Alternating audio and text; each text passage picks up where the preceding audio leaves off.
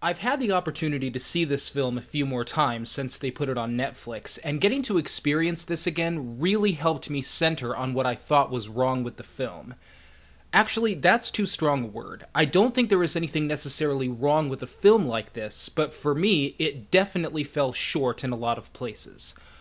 I had done a negative review of sorts about this film in the past, but I think that a lot of the ill will I had in that review really had more to do with the kind of irritation I felt in being forced into this. After a great many superhero films that just didn't do anything for me, it was becoming pretty clear that The Avengers just wasn't going to be for me. But I felt like the fans of this film were trying to force something that they liked onto me, even though I had said numerous times that I probably wasn't going to like this and then I was berated for not liking the film that I said I probably wasn't going to like in the first place. Having sat through it a few more times, however, the shortcomings I saw in the film, especially for a Joss Whedon film, became more apparent, and so I thought I would sit down and try and articulate these problems in a more constructive way. First, let me just say that if you loved this film and had a great time watching it, that's great. I've heard from a lot of people that they appreciate this film because it provides a fun alternative from the gritty, quasi realistic superhero films that have become so popular since Christopher Nolan's Batman franchise. The Dark Knight franchise has definitely had an impact on the industry, and it's true that more fun, lighthearted superhero films are becoming harder to find these days, since most filmmakers seem to want to follow the darker and more realistic tone that Nolan set. I would describe The Dark Knight as one of the best films ever made, of any genre, but I wouldn't exactly call it a fun movie. So the people who feel that the Nolan strategy isn't for them, I'm actually glad you guys have a popular superhero film that is more your preference, and with the success of the Avengers, it means that you can look forward to even more of these in the future. The action packed camp style superhero thing really isn't for me, but it provides an alternative for people who would just like to have that option, and I think that's really cool. But having said that, there are places in the film that could have been handled a lot better, even in the context of this being an action film. So hopefully, this review will help me articulate them in a more constructive way than just being irritated like in my last one. Now, in thinking about this film again, I actually do have a few nice things to say about it, so let me start with that first. While there is a lot of techno babble in the beginning and it really put me off, the middle of the film, and especially the end of it, has the action ramping up, and it's really hard not to be thrilled by it on some level, even if you don't really care about what's going on. Also, while I think Thor is a completely empty character, I do have to say that both Chris Hemsworth and Tom Hiddleston did an excellent job in their respective roles. With the dialogue and wardrobe they were given, it would have been all too easy for this to come across as silly. But these two pull it off great. It never occurs to either of them that anything they're saying is even the least bit silly. It all comes across as believable. Chris Evans does a serviceable job as Captain America, although there isn't much to say about his character either. Although I do like the way he leads. When he's commanding a group of soldiers or anything to that effect, he has authority, but he treats them like peers working alongside him rather than subordinates that he commands from above. And I thought that was a really nice touch. And Mark Ruffalo as Banner slash Hulk, wow, did he do an amazing job. Not much really to say about the redhead, whoever the guy with the bow and arrow was, and the guy with the eye patch. None of them have characters and they didn't do anything. Although, for whatever it's worth, ha ha ha.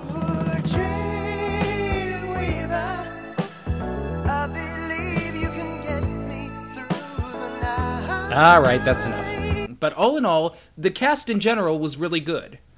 But now let me get into the details of where the film fell short for me there are essentially two things going on in the Avengers. Loki is trying to open a portal to get a space army in to take over the world, and the Avenger characters have to learn to work together in order to stop him. Needless to say, there is a lot of conflict in this film, but none of it is done especially well. I had mentioned the fight scene between Iron Man and Thor in my last review, and noted that the scene was merely a contrivance to see two superheroes fight there's no reason these two were fighting. Tony attacking Thor wasn't going to get him Loki back, and in the end, the film just moves on as if the fight never happened. But a much bigger problem crops up at the fight's resolution that goes far beyond mere contrivance. It gives us the problem of the writers creating a conflict in a way that virtually destroys one of the characters. Not on purpose, but merely because the writers seemed so excited to make these guys fight that they didn't think about what one of those actions means. I'm talking about the moment where Captain America intervenes to break up Tony and Thor. Here we see Thor take an action that, on the face of it, is more novel superhero fighting, but when you look at it in context, it makes the Thor character unintentionally reprehensible. Now, I don't know what you plan on doing here. I've come here to put an end to Loki's schemes. Then prove it. Put that hammer down. Uh, yeah, no. Bad call. He loves his hammer. You want me to put the hammer down?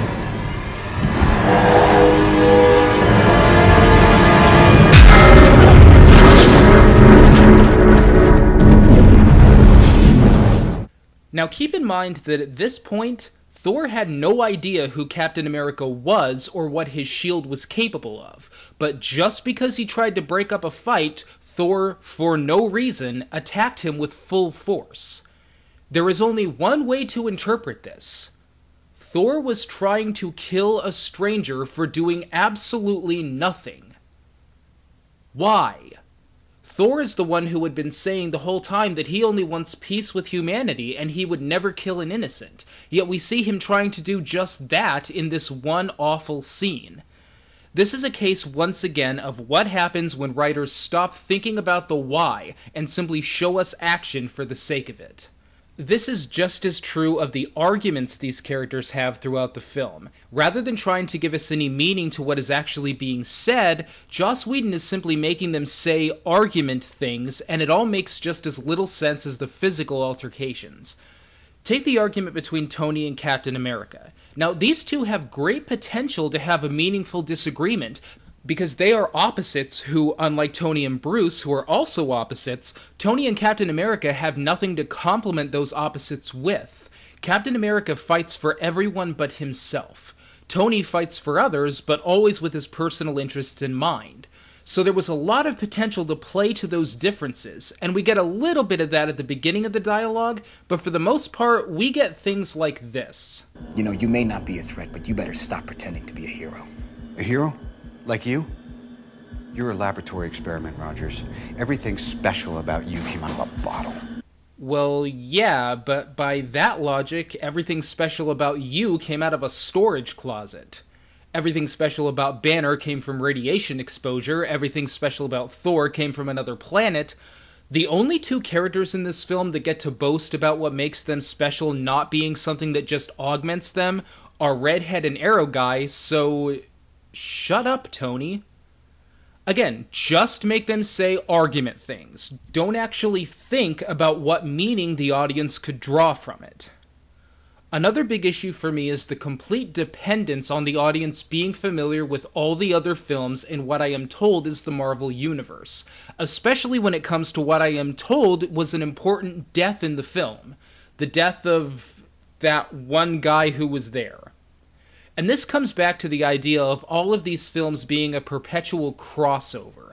I really don't like that strategy since this scene is now dependent on me having to see all of these other films and I just don't have any interest in a lot of these superheroes or the films that they starred in. I couldn't even sit through all of this one or this one, and I didn't even remember this character being in Iron Man 2 since that film was so terrible. So honestly, this death meant nothing to me, and it should have, because this is the thing that supposedly kicks everyone into action because they made this film so dependent on audiences having to see so many other films, they made this death scene impossible to resonate with a significant portion of the audience. And a lot of the plot points in this film have that exact same problem as well. But let me get to the biggest problem I had with the Avengers. And that is how terribly difficult it made it for me to care about what was going on. The film is so jam packed with action and witty banter that it never stops to think about how to engage the audience in any way other than that. They just make a joke about everything in this film, right down to how the villain is subdued in the end. It makes it really difficult to care about any of this on any level, even in the moments where we're supposed to care, like the ending when Tony eventually decides to sacrifice himself. This bothers me the most because the potential for meaning, for everything coming together to mean something in the end, was built into one specific dynamic that ultimately didn't end up going anywhere. and that is the dynamic between Banner and Tony. These two were great together, and the scene that they shared where they talked about their respective powers and responsibilities was wonderful. Why are these two so great together? Because while intellectually on par, these two as people are complete opposites. But unlike Tony and Captain America, their differences complement one another. Tony Stark has control over the suit, but he has no self control. Banner, on the other hand, has to have self control because he can't control the Hulk. Each of these two characters has something to learn from one another and can instill those aspects that they have learned to control in the other person. At least that's what each character had the potential to do, but as we see in the ending, this opportunity was quietly swept aside. One of the things that bother me the most in the end is how Banner just all of a sudden has control when he becomes the Hulk. There was no precedent for this based on anything that came before in the film. No one moment where he learns to control and can now fight alongside his peers. And the line that he says just before hulking out in the climax just confuses the hell out of me. Now might be a really good time for you to get angry. That's my secret, Captain. I'm always angry. Now, what is that supposed to mean? My brother, who liked this film a lot more than I did, believes that it means that Banner always had a measure of control over the Hulk by always letting just a little anger in, to where he can become just angry enough to control him. This simply doesn't add up with anything that came before in the film. What did that great exchange between he and Tony even mean if this were the case? You know, I've got a cluster of shrapnel trying every second to crawl its way into my heart. This stops it.